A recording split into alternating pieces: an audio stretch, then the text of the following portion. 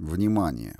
Содержит сцены распития спиртных напитков и употребления наркотических веществ. Употребление алкоголя и наркотиков вредно для здоровья. Данная книга является художественным произведением, не пропагандирует и не призывает к употреблению вышеуказанных веществ. Автор и издательство осуждают употребление наркотиков, алкоголя и других вредных веществ, в том числе запрещенных законами Российской Федерации.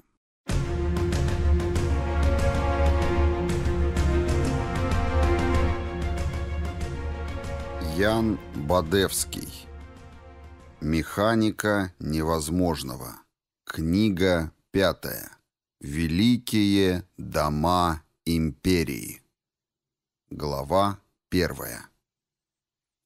Подлодка – мечта любого советского мальчишки.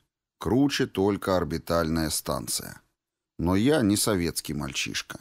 Детство в СССР – лишь крохотный осколок мозаики – которую превратилась моя жизнь из-за бесконечных перерождений.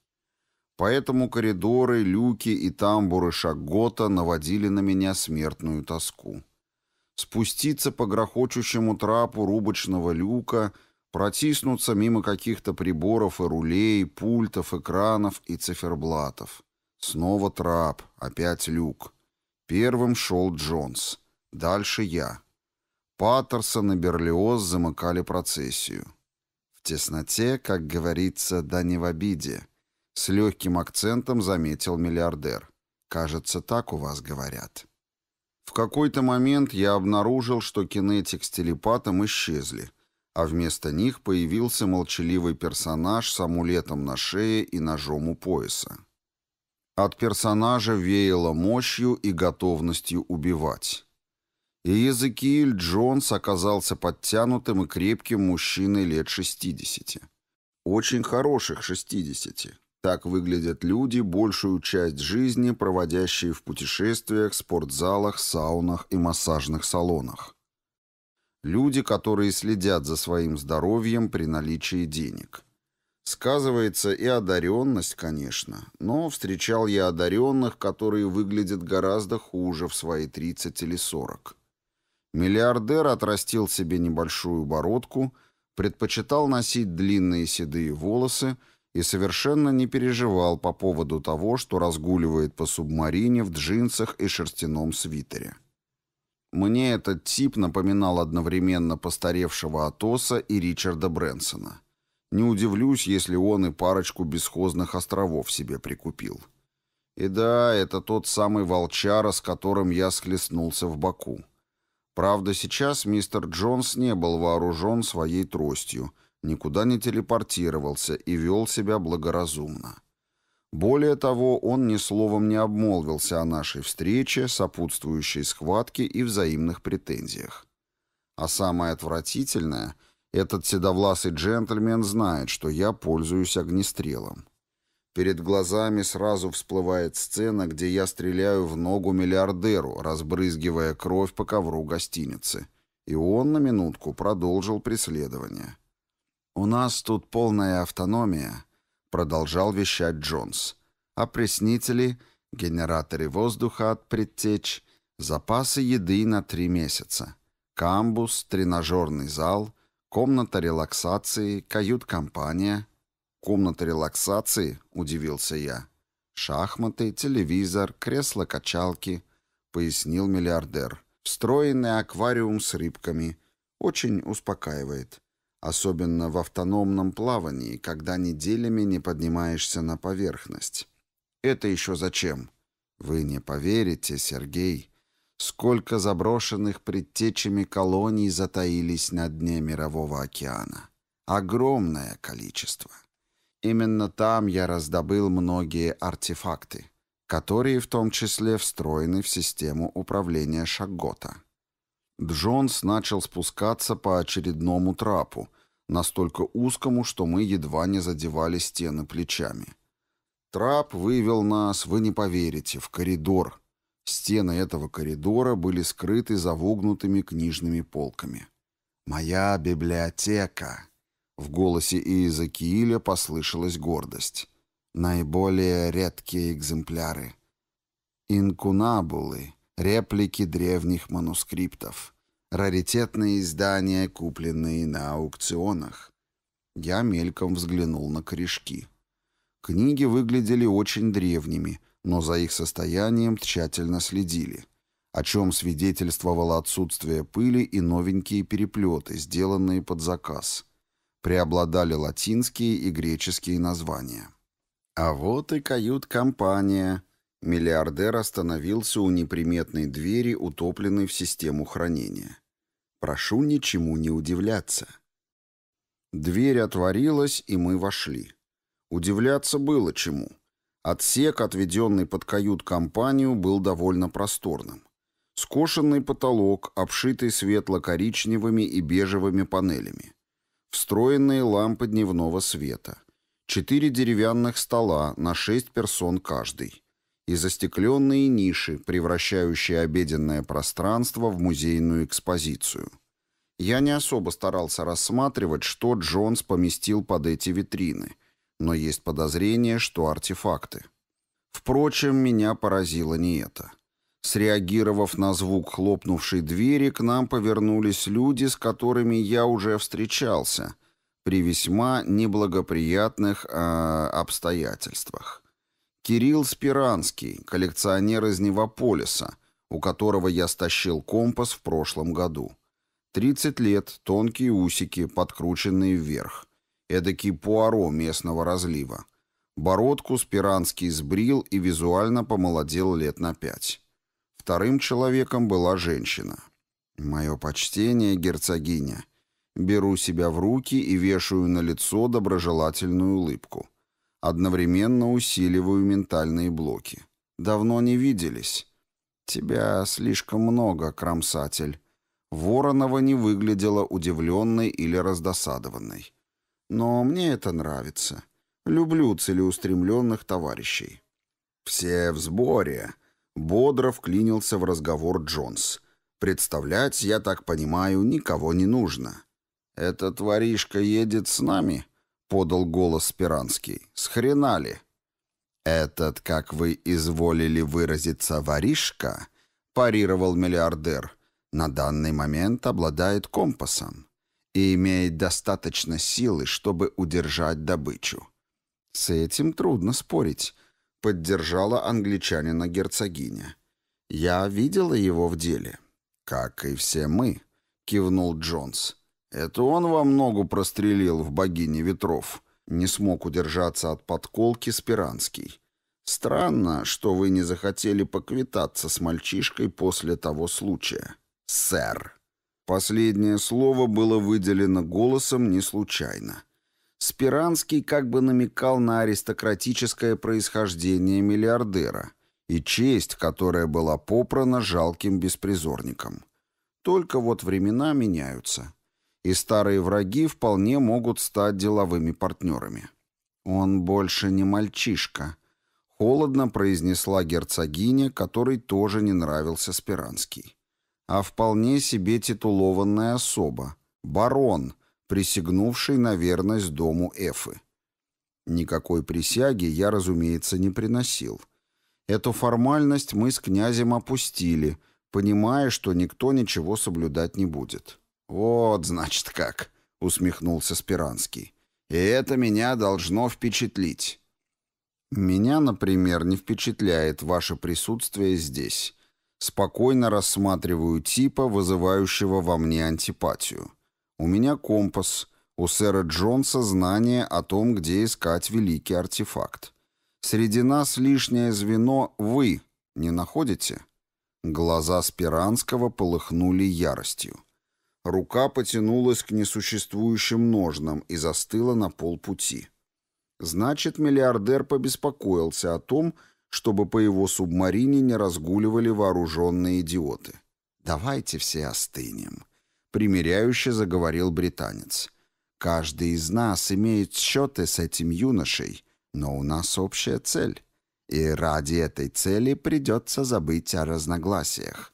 «Они оба из клана», — пробурчал Спиранский, скрестив руки на груди. От него так и веяло неприязнью. «Хотите, чтобы Эфа отжала артефакт?» «Этого не случится», — заверила герцогиня. Миллиардер переместился в центр кают-компании и встал таким образом, чтобы видеть нас всех. «Дамы и господа, выслушайте меня во избежание дальнейших недоразумений. Когда я приглашал вас присоединиться к охоте, то мной двигали вполне прагматичные побуждения. Поверьте, для человека, создавшего одну из лучших судостроительных империй на планете, риски и выгода – не пустой звук. Начну с господина Иванова. Он здесь, потому что владеет компасом, имеет достаточно сил для его удержания и обладает бесспорными талантами, о которых нам поведала герцогиня. Фактически перед нами лучший убийца России, а может и всей земли. Громкое утверждение, пожал плечами Спиранский. Но это так. С улыбкой подтвердила герцогиня. «Что касается Кирилла Спиранского», — продолжил британец, «то он не просто коллекционер, а человек с обширными связями в среде антикваров. Господин Спиранский откроет нам доступ к людям, которые не стали бы с нами общаться при других обстоятельствах. И да, его исследования существенно дополняют мои теории, что позволит ускорить поиск. «Здесь все понятно», — резюмировала герцогиня. «У вас деньги и знания. У Кирилла то же самое, плюс связи в узких кругах. Вам не хватает мощного ясновидца и аналитика, например, меня». «Верно», — подтвердил миллиардер. «Прибавьте сюда доступ к тайным архивам Эфы». «Что за дела, герцогиня?» Я пристально посмотрел на Воронову. «Почему вы здесь?» Я думал, что нет человека более верного князю, чем Наталья Андреевна Воронова. За реакцией женщины было очень интересно наблюдать. Сначала по лицу герцогини пробежала тень, затем оно стало грустным. В глазах промелькнуло секундное колебание, но оно сменилось решимостью и застарелой обидой. Похоже на то. «Я здесь не как представитель клана», — отрезала Воронова. «Скорее, как частное лицо». «Речь идет о великом артефакте», — ухмыльнулся Спиранский. «Вы всерьез хотите нас убедить, что дому Эфы не нужен этот предмет? Да Трубецкие горы свернут, чтобы его заполучить». «В самом деле, герцогиня...» Джонс, безусловно, знал ответы, но вел свою игру. «Проясните господам ситуацию. Мы ведь помним, какую мясорубку устроили преступные синдикаты на улицах Фазиса, чтобы добраться до компаса. А ведь это даже не ВА. Опасения нашего коллеги, господина Спиранского, вполне обоснованы. Почему мы должны вам доверять? Мои отношения с Трубецкими гораздо хуже, чем многие думают. Нехотя признала Воронова. У нас старые счеты. «Вы были любовницей князя», — прямо заявил я, «и расстались, как говорят, друзьями». «Так говорят». Лицо герцогини перекосилось от плохо сдерживаемой ярости, но она быстро взяла себя в руки. «Николай бессмертен, и он оставил меня, как только я постарела. Выбросил, словно ненужную вещь. А ведь между нашими родами были договоренности. Я должна была стать третьей женой Трубецкого, родить ему детей. И, вероятно, наши потомки унаследовали бы отцовский дар. А теперь... Что теперь? Подбодрил сэр Джонс. Говорите, герцогиня. Все свои. У меня есть сын, процедила Воронова. От князя. Бастард без единого шанса возглавить великий дом. Есть муж из низших слоев клана. Его мне подобрали Трубецкие. Понятное дело, обронил Спиранский. Фаворитка получила отставку. Для нее выбрали фиктивного мужа.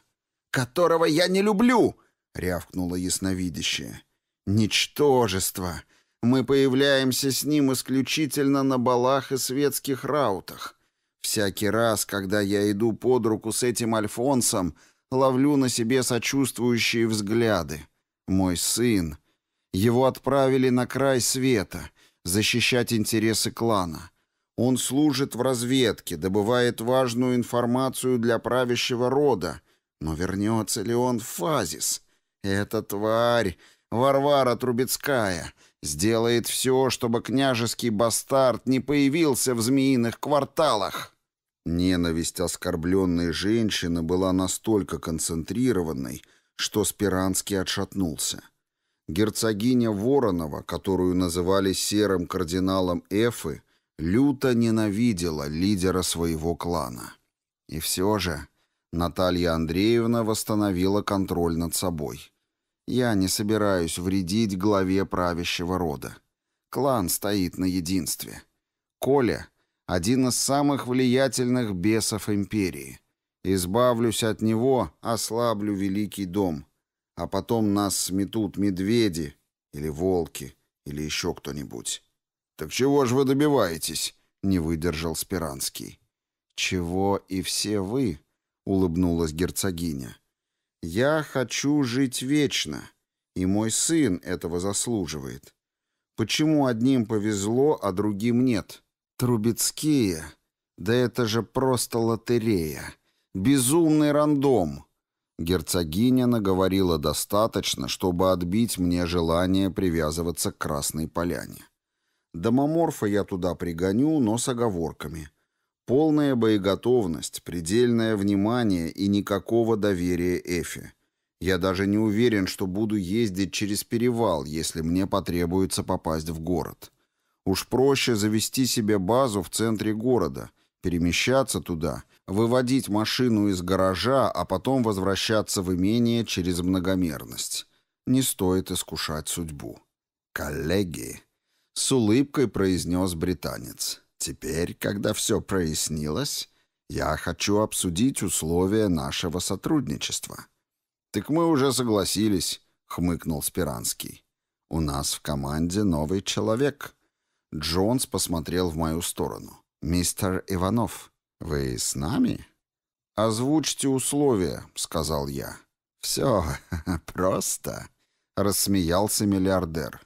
Великий артефакт меняет свойства наших организмов, но это не амулет. Его не нужно носить с собой постоянно. Каждый из присутствующих получит то, что хочет, а затем мы разбегаемся. «И у кого останется эта игрушка?» — задал сакраментальный вопрос Спиранский. В глазах Джонса лукавые искорки. «А какая разница, господин Спиранский?»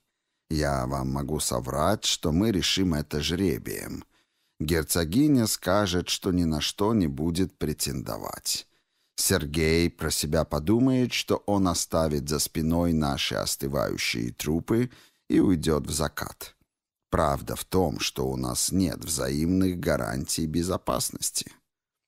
«На самом деле есть», — возразила герцогиня. «Правда?» Миллиардер изогнул бровь. «Логика, мистер Джонс», — пояснила Воронова. «Тот, кто владеет артефактом, превращается в мишень. За нами будут охотиться тайные общества, кланы, правительство Земли, даже Инквизиция, хотя и не факт. Мне этого не надо. Армию одаренных я создавать не планирую, захватывать мир тоже». Спиранский и Джонс переглянулись. «Предлагаю его утопить», — сказал я. Вот теперь уже на меня смотрели, как на сумасшедшего. «Переделываем себя и тех, кто под руку попадется», — добавил я с улыбкой, наблюдая за партнерами. «А потом избавимся. Вы же не хотите получить планету, заселенную бессмертными существами. Когда все перестанут умирать, как скоро они начнут жрать друг друга, сражаясь за ограниченные ресурсы?» Мои слова возымели действие. Спиранский хмыкнул, затем подсокал языком и медленно кивнул. Герцогиня промолчала, но я видел, что она оценила план по достоинству. Джонс наградил меня аплодисментами. «Вы умны не по годам, мой юный друг». «Конечно». На моем лице появилась жутковатая улыбка. «Поэтому и предупреждаю». Если кто-то из вас нарушит договор, он исчезнет. Я вам это гарантирую.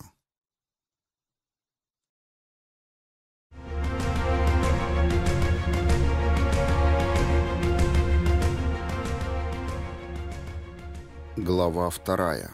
«Директор ждет», — очаровательно улыбнулась секретарша. Сексуальность этой особы неизменно зашкаливала, но я к этому привык. Открыв дверь, переступил порог кабинета мистера Андерсона. Внутри меня дожидались хозяин кабинета, неизвестный клановый мужик и куратор Райнер. «Доброго утра всем!» «Присаживайся, Сережа».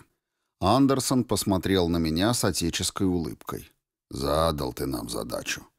Хочу представить тебе Йозефа Домбровского, ответственного секретаря из Министерства образования».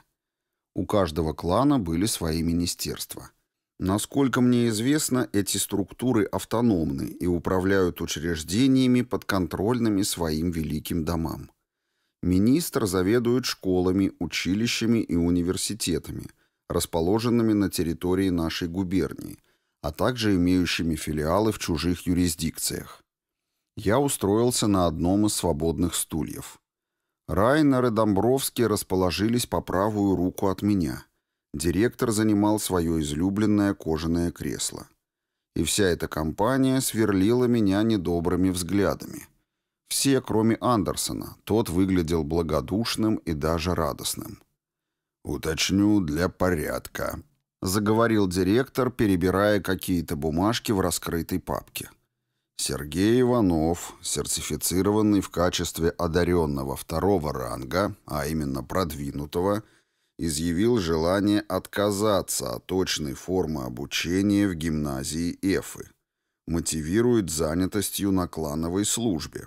Напомню присутствующим — что с 1979 года господин Иванов таки примкнул к дому Эфы, установив вассальные отношения а, с правящим родом Трубецких, что меня сильно впечатлило и вселило гордость за наше образовательное учреждение. Вот не мог не выкрутить в эту сторону. Безусловно, факт пробуждения и достижение второго ранга меньше, чем за один год, свидетельствует о высоком потенциале ученика, продолжил директор. И я допускаю, что титул барона получен Ивановым за серьезные заслуги. Даже сарказма не подпустил. Вопрос в том, готов ли Сергей освоить всю учебную программу за полгода, сдать экстерном общий экзамен и получить диплом. Прошу высказаться по этому поводу, коллеги. Что тут высказываться? Процедил чиновник из министерства. Такова воля князя. Я пришел сюда не с пустыми руками. Вот копия распоряжения, спущенного в наше ведомство сверху. Обеспечить барону Иванову свободное посещение гимназии, содействовать сдаче экстерном всех экзаменов и аттестовать в течение первого года обучения. «То есть летом», — вставил директор. «Получается так», — пожал плечами Домбровский. «У меня не возникает сомнений в том, что Иванов сдаст нормативы по боевым дисциплинам», — заявил Андерсон. «Все преподаватели отмечают мастерское владение этим гимназистом всеми видами оружия. Но что с теорией, господа?» Криптоистория, каббалистика, геометрика, иностранные языки — Взоры обратились на куратора Райнера. «Контрольные зачтены», — последовал невозмутимый ответ. «Точные дисциплины на посредственном уровне, с остальными проблем не возникает. Преподаватели-языковеды в полном восторге. Ну еще бы, с моим-то количеством перерождений». За минувшие тысячелетия я побывал в стольких странах, погрузился в такое количество культур — и научился свободно разговаривать на таком количестве языков, что меня можно было бы назвать полиглотом экстра-класса. И это не считая мертвых языков наподобие латыни или наречий североамериканских индейцев, которые сейчас нафиг никому не упали. Вот. Домбровский придвинул Андерсону бумажку. Второй экземпляр полученного нами распоряжения. Когда я говорил о содействии, то прямо цитировал князя. Вы меня хорошо понимаете, господин Андерсон? Очень хорошо. Директор сглотнул. Он не может не сдать. «В точку», — улыбнулся чиновник. «Если Иванов не дочертит парочку линий между знаками, мы закроем на это глаза. Таково решение лидера». «Раз тема закрыта, разрешите откланяться», — сухо произнес Райнер. «Мне кажется, неуловимый куратор обиделся. Вчера я отчислился с факультатива по мехам, а на меня, вероятно, делались ставки. Но согласитесь, зачем мне эти допотопные «Витязи», если я могу осваивать мощные машины под руководством Моро? «Да-да, не смеем вас больше задерживать», — кивнул директор. Райнер поднялся со своего места и, проходя мимо, бросил. «Удачи». Когда дверь за пилотом захлопнулась, я не выдержал. «А чему вы так улыбаетесь, Глеб Олегович?» «Ну, как же». Андерсон выглядел словно кот, объевшийся сметаны. «Одним проблемным учеником меньше. Для тебя же нет авторитетов, Сергей. Ты можешь вызвать на дуэль хоть Барского, хоть Разумцева, а потом еще за головами их родственников прийти. Поверь, ты у меня сдашь все с первого раза и отправишься на все четыре стороны». Чиновник заинтересованно наблюдал за нашим диалогом. «Ты же в курсе, что попал на вендетту?» добавил директор. «Мы не знаем, где ты живешь, так что забери уведомление у секретаря». «Сухомлинские?» Буднично поинтересовался я. «Вижу, ты совсем не удивлен». «Совсем нет». Директор бросил на Домбровского красноречивый взгляд, дескать, что и требовалось доказать. Чиновник отнесся к ситуации равнодушно. Не я первый и не я последний иду по трупам, огибая правила. «В общем, приказ о твоем переводе на заочную форму подписан», — сообщил Андерсон. «Остается утвердить печатью с разрешения господина Домбровского». «Разрешаю», — лениво буркнул чиновник. Андерсон достал из ящика стола круглую печать, дунул на нее, шлепнул по какой-то бумажке и протянул мне. «Готово». «А мне это зачем?» «Передай секретарю. Не в службу, а в дружбу». «Да, без проблем». Поднимаюсь, отодвигаю стул и прощаюсь со своими благодетелями. «Рад нашей встрече, господа. Адиос навхамди сайона рахош чакал». Простите за мой халифатский. «Иди уже», — хмыкнул Андерсон. В приемной блондинка оторвалась от пишущей машинки и бросила на меня томный взгляд поверх очков в роговой оправе. Не припомню, чтобы она раньше носила очки. Может, для солидности. Хотя наиболее солидно выглядели ее буфера под белой блузкой, верхние пуговицы которой вообще не застегивались. «Это вам», — я передал приказ. Секретарша пробежалась глазами по документу и потянулась к стеллажу за папкой исходящее. Красиво потянулась, я аж засмотрелся. «Мне пришло уведомление от Сухомлинских», — вспомнил я. «Расписываться нужно?» «Сейчас. Хорошо, что напомнил». Блондинка достала и вторую папку. Порылась внутри, выдала мне гербовый бланк с кучей подписей и печатей. Подпись не нужна, это простое извещение. Распрощавшись с секс-бомбой, я вышел в коридор. В извещении было указано, что род Сухомлинских объявляет вендетту барону Иванову, в связи с гибелью их наследника. Поскольку мы принадлежим одному клану, Великий дом не вмешивается. Ни одна из сторон конфликта не получит поддержку. Вендетта считается завершенной после гибели ответчика либо уничтожения бойцов рода. Сухомлинские оставляют за собой право привлекать наемников, которых я могу убивать, если того требуют обстоятельства. Согласовано с княжеской канцелярией. Копии отправлены в полицию и службу безопасности дома Эфы. Подпись и печать Барского в наличии. Прозвенел звонок. Мне еще оставалось уладить одно маленькое дело, и я направился прямиком на первый этаж, а оттуда во двор. «Привет!» Игорь Гриднев пожал протянутую руку. «Здорово, братан!» Ираклий стукнулся со мной кулаками и крепко обнял. «Ты чего, прогуливаешь?» «Я не прогуливаю». Мы стояли в беседке под порывами ледяного ветра. Ребята дрожали, а серое небо должно было вот-вот разродиться очередным дождем или снегом. «Мы с вами до лета уже не встретимся. В школе, во всяком случае. Здорово, проворчал Игорь. Титул получил и зазнался? Слухи о моем приобщении к сливкам общества распространились по гимназии молниеносно. Думаю, с подачи Барского. А может и нет. Регина тоже в курсе последних клановых новостей. И не думал. Я беззлобно ткнул бывшего старосту в плечо. Поэтому вы здесь, между прочим. А девчонок не захотел звать? Удивился Ираклий.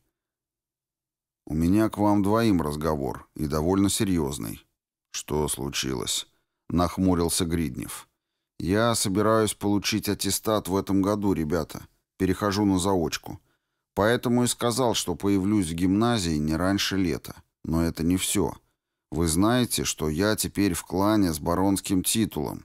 «Так это правда», — перебил Игорь. «А я тебе говорил!» — кучеряшка расхохотался. «С тебя гурули!» «Будет тебе гурули», — насупился Гриднев. «Народ, вы меня не слушаете. Титул подкреплен родовыми землями, и я собираюсь построить на них усадьбу. Земли в Красной Поляне». Ираклий присвистнул. «Я это к тому, что мне потребуются люди, те, кому я смогу доверять. Вам, парни, я доверяю. Так что, Игорь, тебя я хочу позвать кинетиком в свою родовую гвардию и, вероятно, пилотом меха, но после того, как ты доучишься у Райнера. Что касается тебя, братан, перевожу взгляд на бывшего соседа по парте. Мне, безусловно, потребуется целитель. Но не сейчас, а лет через пять, когда ты уже поучишься в академии и будешь разбираться в медицине. Хочешь присягу на верность? Заинтересовался Гриднев. Я могу хотеть что угодно. Продолжаю наблюдать за реакцией друзей. Вопрос в том, готов ли каждый из вас пойти за мной в будущем. «Сразу предупреждаю, я выйду из клана». «Чего?» — охренел Ираклий. «Ты в своем уме, бро?» «Поверь, да. У меня есть определенные договоренности. Есть видение того, с кем не стоит связываться.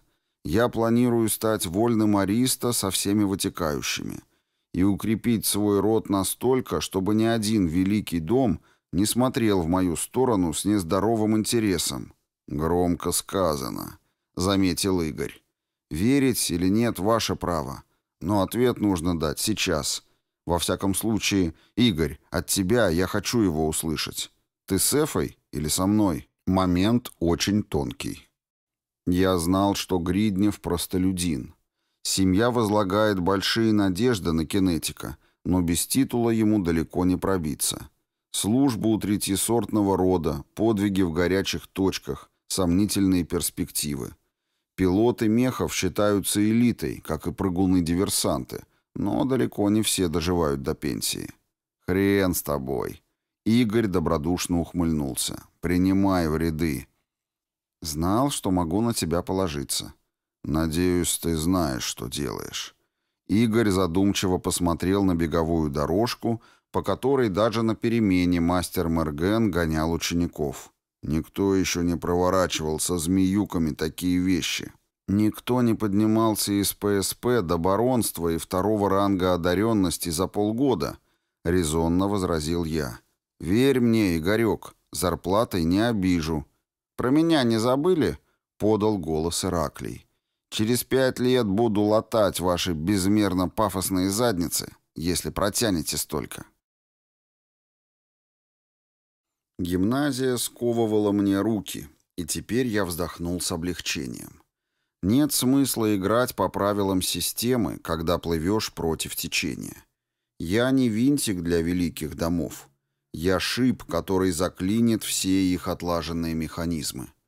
Теперь мне предстоит построить родовое гнездо, выйти из тени и заняться очень серьезными вещами колонии Маруан, великим артефактом, пятью заказами Трубецкого.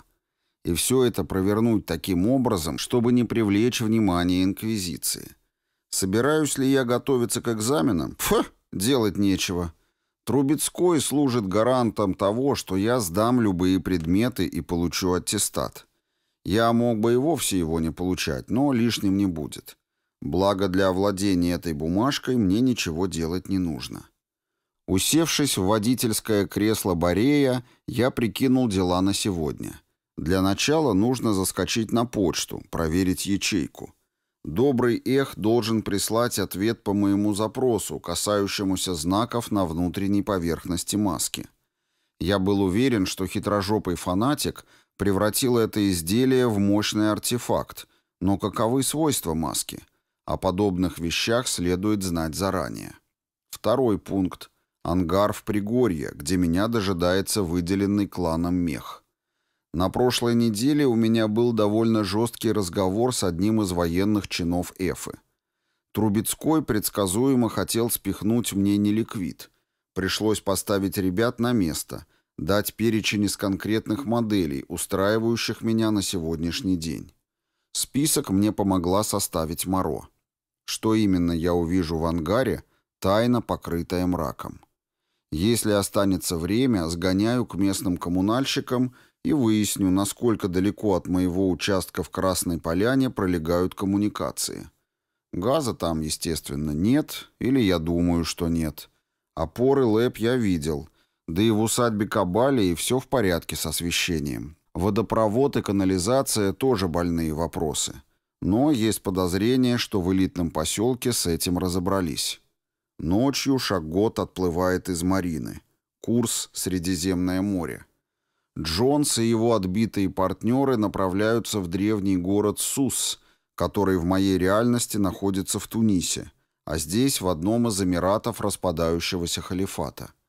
Двигаясь с постоянной скоростью до 30 узлов, субмарина прибудет на место через 72 часа. Я отказался от сомнительного удовольствия провести трое суток в консервной банке эксцентричного миллиардера. Порешав свои дела в Фазисе, я сяду на дирижабль и отправлюсь в СУС как обычный турист. Виза мне не нужна, спасибо клану и его дипломатии. Почему я не лечу на бродяге? Да потому что не знаю, сколько времени проведу в Тунисе. А Джан учится в школе. Так что... Я уже собирался завести двигатель, когда в лобовое стекло прилетел топор.